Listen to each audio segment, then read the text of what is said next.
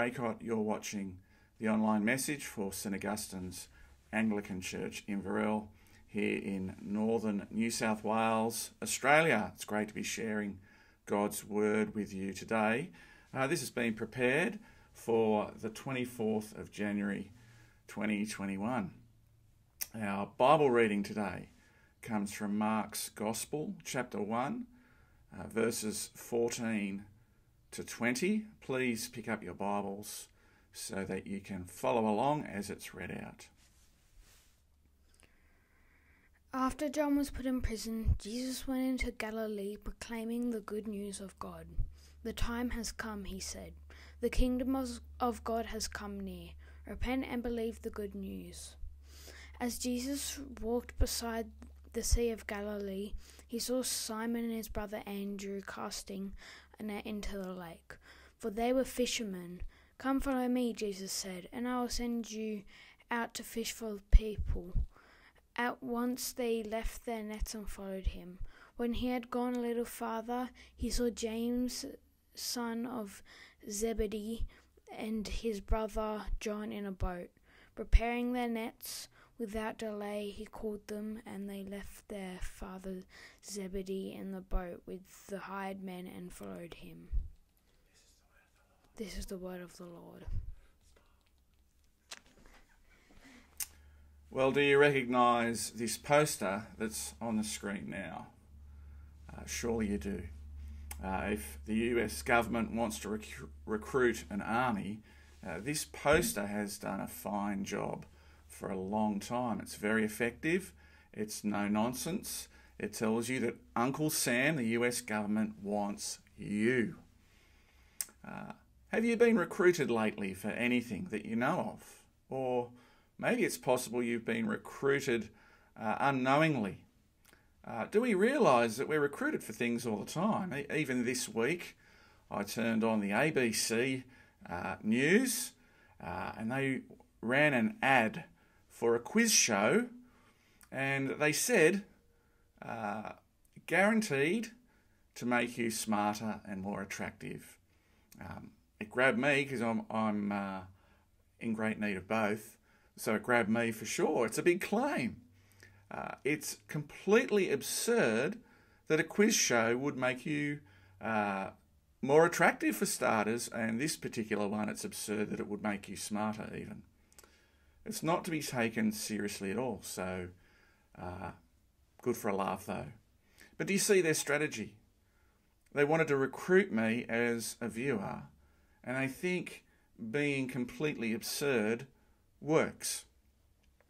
Think about Coca Cola. Uh, when I grew up, uh, all they wanted to do was recruit me as a drinker, and it worked. They want you to drink their product. For years, they were allowed to tell you that Coke adds life, which of course is a total crock. Uh, they pretend to be the fountain of youth, but the truth is that Coca Cola is more likely to lessen your days than add to them. Recruitment. It's not just the domain of the corporate world, it's happening around us all the time. Which brings us to our text, Mark chapter 1, beginning at verse 14. We see there that Jesus walks beside the Sea of Galilee. You heard that in the reading. You see that uh, he sees Andrew and Peter and they're fishing. And Jesus says, Let's go, time to catch people. And so they did. A little further up the shore, James and John are in a boat. Uh, same thing. And so we're left to ask, well, who is the master recruiter in this scene? And it's Jesus. You want a lesson in recruitment? Look at him. He's, he's awesome at it. It's like he clicks his fingers and off they go. We remember that Mark writes with a sense of immediacy and urgency. This is how he tells the story. It's interesting. Um, I think about my children. We're leaving for school right now. They would never respond like these fishermen did. Uh, I might give them a five minute warning. Hey, we're leaving for school in five minutes. Well, it's a little better, but it's still not like this. Uh, church can be similar. If we have an idea, we need to sell it, we need to communicate it, we need to warm people up to the idea and then communicate it again and educate, lest our safe cocoons become threatened. So, what is the deal here? Because it is remarkable. Why is Jesus so effective? Why drop the nets and go? Well, verse 15 holds the answer. Verse 15, Jesus says, The time has come, the kingdom of God has come near. Repent and believe the good news. Here's the first thing why is Jesus so effective? First thing is, the time has come. Uh, begs the question, what is the time? Verse 14 tells us the answer. This is after John was put in prison. Jesus went into Galilee proclaiming the good news of God. It's the time when Baptist John is in jail. Uh, you might remember last week. Last week, Baptist John was busy doing ministry, remember? Uh, and what was Jesus doing? He was just passing by twice. Jesus passed by. Jesus passed by. Yeah, he built relationships with the disciples in that time, but he's very passive uh, in John's gospel at that point. But here is a time marker because Jesus knows the Baptist's ministry is done. Uh, he, John the Baptist, is in lockup. He is not coming out, and we know how that ends. The days of the Baptist John being a voice in the wilderness and preparing the way that's that's over. And it's because those days are done. The one who comes after me, the one who comes after me, the one who comes after Baptist John, this Jesus gets started. Jesus gets his action Jackson on. The time has come. And because the time has come, this is why the four disciples have already spent time with Jesus, remember. They get their action Jackson on, so to speak, as well. Verse 14 After John was put in prison, Jesus went into Galilee, proclaiming the good news of God. The time has come, he said. The kingdom of God has come near. Repent and believe the good news. Okay, so we know the first thing, the time has come. But what does, when Jesus says the kingdom of God has come near, what does he mean? The kingdom of God is, it's God's kingdom. And the kingdom's king we will know to be, the kingdom's king is Jesus, yep. And in the coming of King Jesus, the kingdom of God draws near. It comes near. But why near? Why doesn't it say the kingdom of God has come, full stop? It's arrived. Well, it has, but maybe it's the same reason Jesus teaches us to pray, Your kingdom come.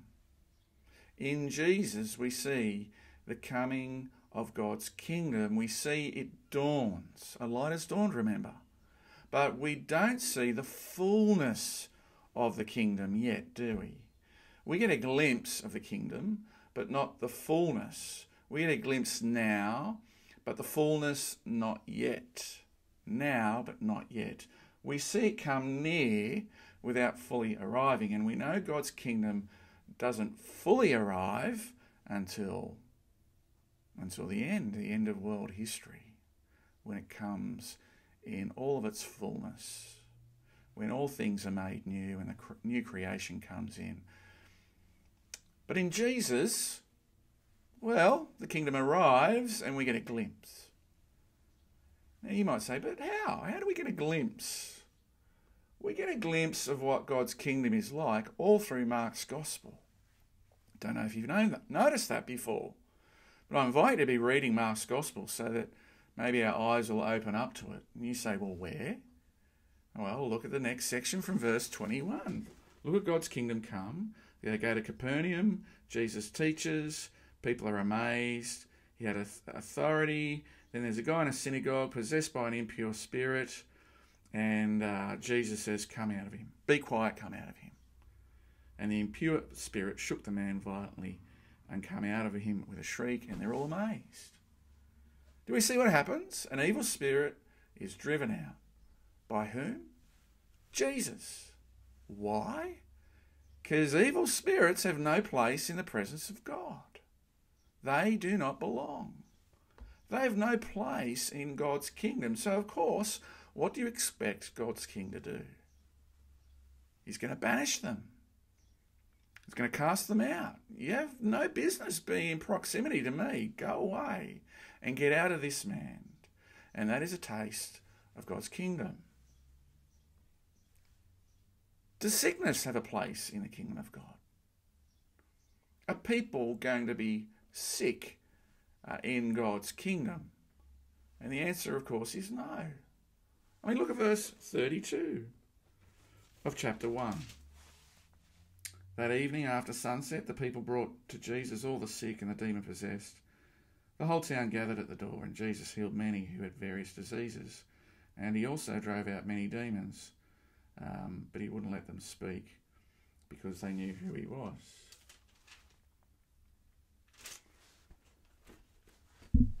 I mean, even in the verses prior, Peter's mother in law is healed.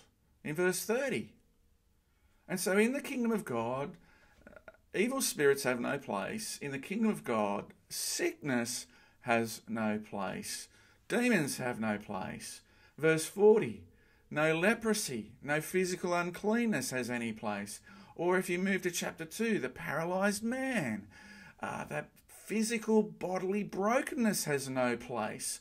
Or then, as you read chapter 2 in the story about the paralyzed man, we see the bigger thing of sin forgiveness, a sin forgiven. Sin has no place in the kingdom of God. There's no guilt, there's no record of wrong, no rebellion against God. None of that has any place in the kingdom of God. You, you jump over to chapter 5 and uh, the bleeding woman. No women's stuff going wrong has any place in the kingdom of God. And then at the end of chapter 5, Jairus' daughter, no death in the kingdom of God. You see, the kingdom of God draws near in the coming of Jesus. I mean, even at the end of chapter 4, can you see at the end of chapter 4? Jesus calms a storm and we taste the kingdom of God again. And you say, how? Well, the Draycotts had a road trip this week, beautiful weather. Uh, plenty of farmers got a crop by the look of things. Uh, the feed on the road verges is six feet high. It's crazy. Of course, that's not the mindset now. We drive past, we don't see feed on the side of the road, uh, do we? We see something that's rank and out of control, somewhere for Skippy to hide before he bounces out in front of us. And I said to Tanya, hey, in the new creation, when God's kingdom comes in all of its fullness, do you reckon the weather will work? You know, with the wind and the rain and all that. Surely that's still necessary. And she said, it was profound. She said, the weather will just work. We experience weather that doesn't work drought, flood, uh, one disaster after another.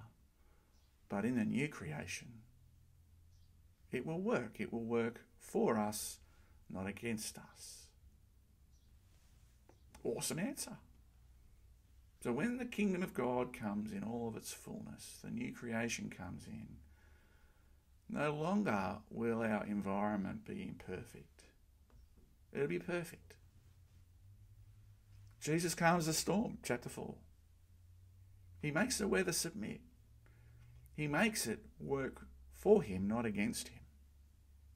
And so, do we see that we open Mark's gospel? Do we see, we taste the kingdom of God as it draws near and it touches whatever Jesus touches? See Jesus with authority over all these things, yeah.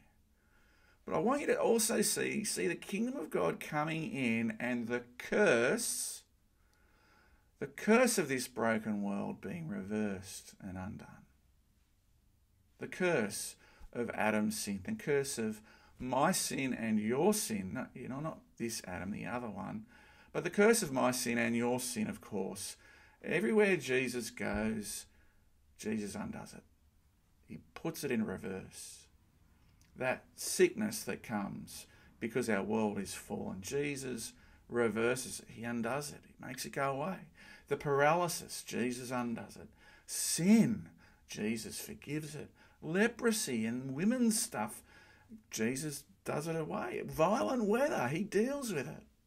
And even death, Jairus' daughter, remember chapter 5, which has no place, death, has no place or power in God's kingdom. See the curse unravelled when Jesus enters time and space. Everything he touches made good, made clean, made right. And so do we see what the kingdom of God is like? The kingdom of God is where God, the kingdom's king is. And Jesus is here walking through the pages, undoing the effects and the ravages of the curse and sin and death. And he's pronouncing the good news of the kingdom is coming. It's here. It's here in me.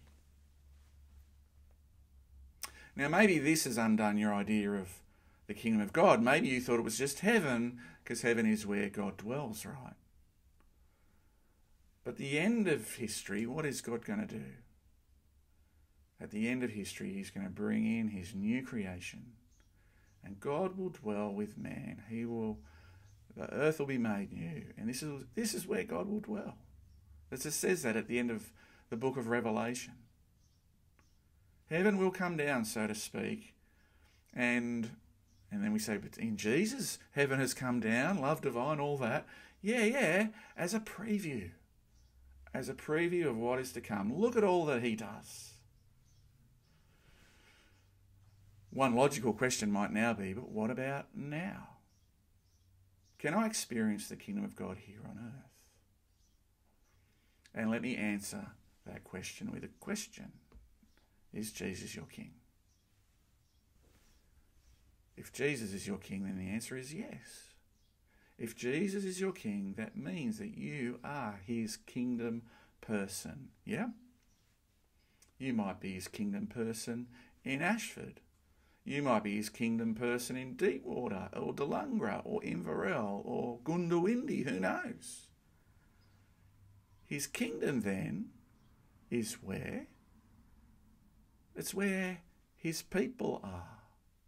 It's where the king's kingdom people are. That's where his kingdom is. People who rejoice that Jesus is king. People who, according to Ephesians chapter 1, have every spiritual blessing in Christ. Which means that if we have Jesus, we lack nothing spiritually. It means that as we engage with the brokenness and the curse of this world, we come to Jesus for answers and we petition him and we knock on his door and we pray our socks off. Here we see in the coming of the kingdom, we have every reason to pray in the name of Jesus. Because Jesus is our King. And we pray together. Because we're all joined to him, aren't we? Relationally, we're joined. Spiritually, we're joined. We are one in him as his kingdom people. Which means we love as Jesus loved, and we serve as Jesus served, and we forgive as Jesus forgave. All right, back to verse 15. We need to wrap this up. The time has come. Done that. Second thing, the kingdom of God is near. We've Just dealt with that. What's the third thing Jesus says? Let's have a look. Verse 15. Repent and believe the good news. If we understand this kingdom of God stuff and the enormity of Jesus coming, I want to say to you this repent and believe business is a no brainer. It's this command to repent and believe, it's not an afterthought that's added on. Uh, it's a logical follow on. Don't, don't feel like, uh, I mean, is it a press, is it a poke? Yeah, it is, but the kingdom of God is near. It makes sense of what follows. And it explains the prompt response of our four disciples who just drop their nets and go. They hear the kingdom of God is near. Okay, let's go. Let's do this. The Messiah has come. And doesn't it explain why you yourself are a Christian? Why are we people that turn up and every other Sunday and church together? Why do we profess to be followers of Jesus? Because if you think it does something culturally for your reputation, uh, well, you can say bye bye to that right now. So, why are we Christians? Why are we people characterized by repentance and faith and belief, I should say? I mean, why are we repentant people? What does that mean anyway? Why do we live a repentant life, a life that turns away from pleasing self to a life that seeks to please God in every way? Why do we live a life that gets off the my way highway and takes the route, the path that God puts us on, which is the path of following Jesus? Why do we do that? Why would we choose to do that every other day? Why would we make a conscious decision every day to go God's way and not my own selfish way? Why do we choose to do what these guys did all that all those years ago? Why should I drop my nets when there's money to be made? Because let's face it, fish don't catch themselves. Why give it up? And it's because there's something way bigger than the, the Zebedee Fishing Cooperative. It's because Jesus is God and He's brought in His kingdom. And He is bringing in His kingdom. And one day it's going to come in all its fullness. All that is wrong with the world, all of the curse, the brokenness, the busted relationships, our fractured bodies, our fractured egos, Jesus promises to undo all of it, to undo the curse, and to bring His kingdom to bear on all of life's shadows, all of the darkness. And this is the same Jesus that calls us to follow him. It's a good deal. We're not being asked to follow Donald Trump or John Biden for that matter. We're not being asked to follow a political dictator or despot. Jesus, the Son of God, calls us to follow him. And so, what direction is your life heading? Where is your life going? Who's been recruiting you? The world? It's been sucking you in? As you think about the direction of your life, how far ahead can you see? And as you look ahead, do you see anybody?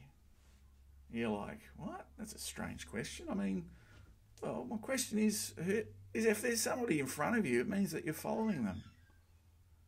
You're following Jesus. Is he the one that's in front of you? Does he lead us? Does he guide us? Do we listen to his voice through his word? Do we call out to him in prayer and ask him for help as the one who's got the answer to all of life's problems and dilemmas? And if we are followers of Jesus, if we are Christians, doesn't that mean that he's recruited us, that we belong to him, that we are his and he is ours? Do, or do we think we're saved for nothing? Or are we actually saved for something? Are we now part of his mission, the mission of the kingdom to bring this good news to the world, to Inverell and beyond, to go past that 100k road sign, get out of town, proclaim the gospel? Do you wonder about meaning of life and your purpose? Is your life empty? Is your life self absorbed? Jesus invites us here to wake up, to get with the program, and to follow him.